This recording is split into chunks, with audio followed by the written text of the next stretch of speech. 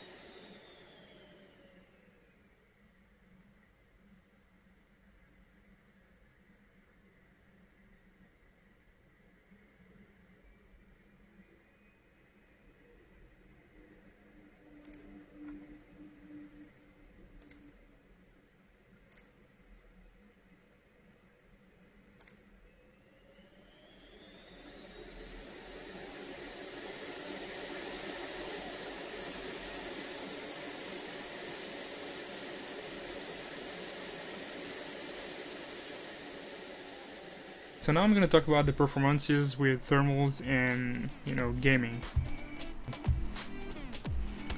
Alright, so let's start with the performances of Apex Legends depending on the fan profile uh, selected, just to give you an idea on how much the temperature can go down. So in this case I of course used a support and the 100 volt of uh, 100 uh, millivolt on the CPU core and the CPU cache. So here you can see, so basically the faster runs the fan, the cooler is the laptop and the better are the performances. Okay, so now I'm gonna just uh, say a few words about the importance of having an elevated support.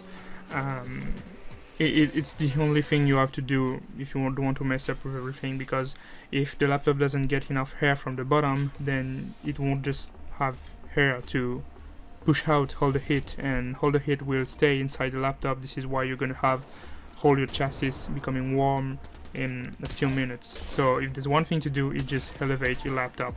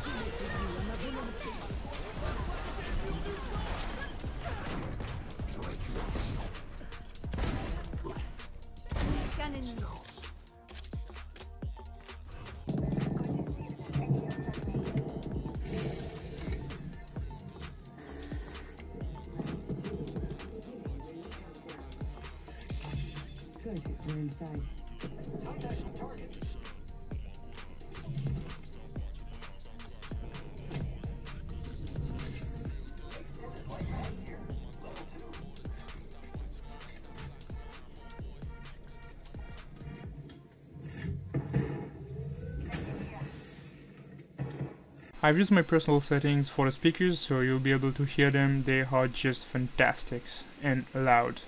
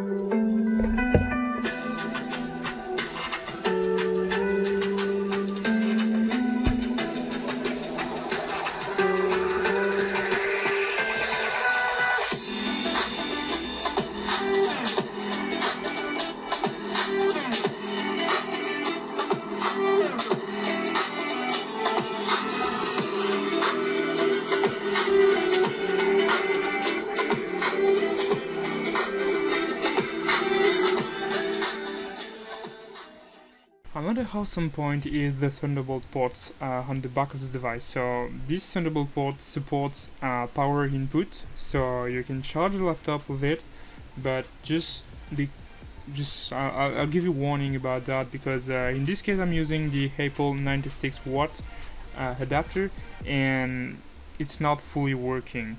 So the the Alienware takes um, the charge uh, from 60 watt and if you use something more powerful than 60 watt it's only going to take 65 watts. And it's it's not enough to to power the full laptop. So you can recharge it but only when the laptop is off. That's the picture that you will get if you're trying to boot the Alienware M17 with uh, a Type-C power input so in this case a 60 or 96 watt hour and you don't have the 240 watts uh, plugged in. So you'll get that message but you still can boot and it's gonna somehow charge your laptop. I was a little bit surprised that the power consumption uh, exceeded the 240 watt limits but well it, it's a very powerful unit. Uh, considering battery life my unit doesn't have Optimus I got the 300 Hz panel which is directly directly uh, connected to the um, NVIDIA GPU so the Intel is not really doing something in there and this is why there is such a poor battery life because um, the RTX 2070 is all the time running to render the the, the image. So this is why. Um, if you want a better battery life make sure you pick um, uh, an Optimus version of the laptop. So I think it will be only 144 Hz or the 4K version because the Intel uh, integrated uh, chipset doesn't support 300 Hz panel. So just make sure and ask for um, you know um, a commercial to give you the information before you buy. you have to get used to the keyboard so it's not something uh, very easy to take on uh, I had the GS75 from MSI and their keyboard was better for me but this one is still uh, on the high high-end laptops keyboards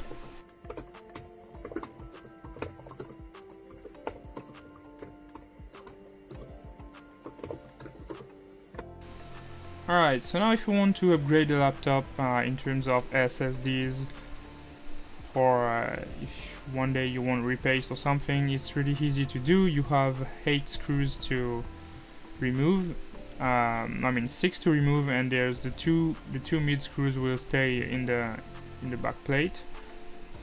So you also have the rubber fits, the which are very small to me and the two speakers are from the bottom. So you will need a very thin tools to remove the cover so like I'm doing right now. Don't take anything middle uh, because you're gonna damage your chassis. So just take something and pull it a little bit until the, the clips get off.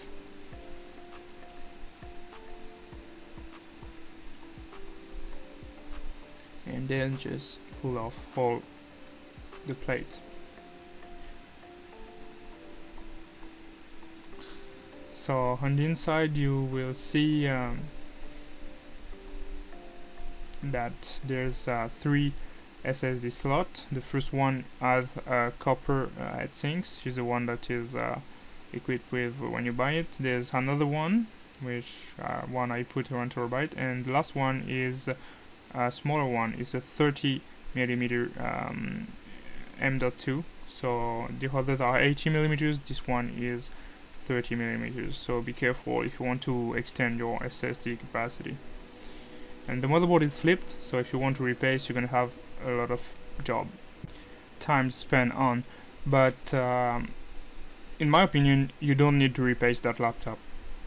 Uh, if you replace it you're gonna win maybe 10 degrees over that. So my really first advice is just to elevate the laptop uh, buy support for it in whatever you do and the CPU like you're not gonna get 40 degrees on that right? Even if you liquid metal the thing you're gonna get you're gonna get 10 degrees. If you repaste it with normal paste you're gonna get 5 degrees maybe. That's all. So elevate your laptop um, undervolt it with 100 millivolts and that's the best thing you can do. Um, undervolt it with 100 millivolts and that's the best thing you can do Alright, that's all for me today, so thank you for watching. If you have any question, let me know in the comment. Uh, if you liked that uh, little review, let me know. And if you want to subscribe for more, feel free to do. See you next time.